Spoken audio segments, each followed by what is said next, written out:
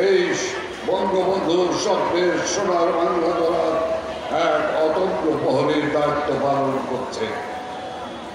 বাংলাদেশ ছাত্রলীগ একটি সৃষ্টিশীল সংগঠন। বাংলাদেশ ছাত্রলীগ একটি ঐতিহ্যবাহী সংগঠন। বাংলাদেশ ছাত্রলীগ এদেশের উনিশশো আটাত্তরের মুক্তিযুদ্ধে বীরত্বপূর্ণ ভূমিকা পালন করেছে।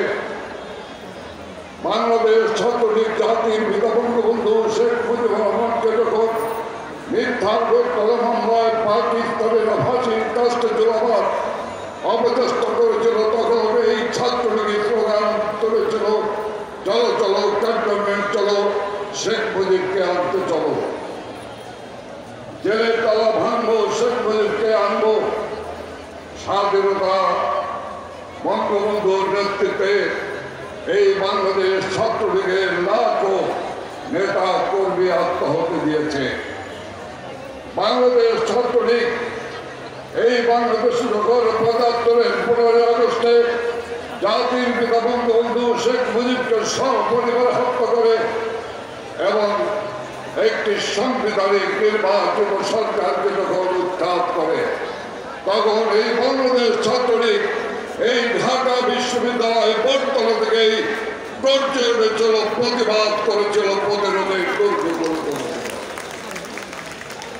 এই বাংলাদেশ ছাত্রলীগ, সেই ঐতিহ্যবাহী সংগঠন যে ছাত্রলীগ দু হাজার এক এগারোর গঠন ঘটার পরে এই ছাত্রলীগ ঢাকা বিশ্ববিদ্যালয় সহ সারা বাংলাদেশে গর্জে উঠেছিল কোন সরকারকে বাংলার মানুষের মাথায় জগদ্দল পাথরের মতো চেপে বসতে দেব না।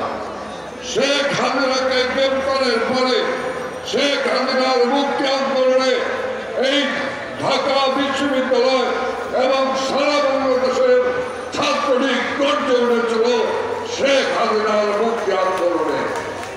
বাংলাদেশ ছাত্রলীগ আজ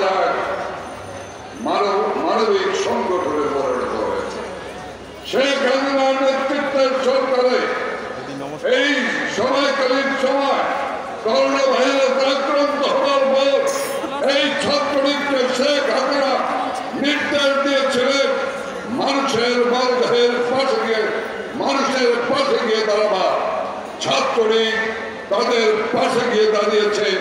মা যখন তার সন্তানের কাছে যায় না, সন্তান যখন তার পিতার স্পর্শ করে না, সেই মুহূর্তে এই ছাত্রলীগ দাবর কাপড় থেকে শুরু করে সমস্ত কাজ করেছে। এই ছাত্রলীগ, সেই ছাত্রলীগ যে ছাত্রলীগকে শেখ হাসিনা নির্দেশ দিয়েছিল। আমার ধান শ্রমিক সংকট টাকা দিয়েছে। আমার ধান কৃষকের গোলায় পৌঁছে দিতে হবে। এই ছাত্রলীগ কৃষক ক্ষেতের ধান কেটে কৃষকের গোলায় পৌঁছে দিয়েছে। আমি বাংলাদেশ ছাত্রলীগের আজকের এই রেলিপূর্ব এই লক্ষ্যে দাঁড়িয়ে বলতে চাই সকল ষড়যন্ত্রকে ছিন্ন ভিন্ন করে ছাত্রলীগ যে ঐতিহাসিক ভূমিকা পালন করেছে আগামী দিনে বঙ্গবন্ধুর বাংলা প্রতিষ্ঠার লক্ষ্যে শেখ হাসিনার নেতৃত্বে সকল অশুভ শক্তি, সকল অশুভ শক্তি ষড়যন্ত্রকে ছিন্ন ভিন্ন করে একটি অসাম্প্রদায়িক শোষণ মুক্ত বাংলাদেশ প্রতিষ্ঠার জন্য লড়াই করবে।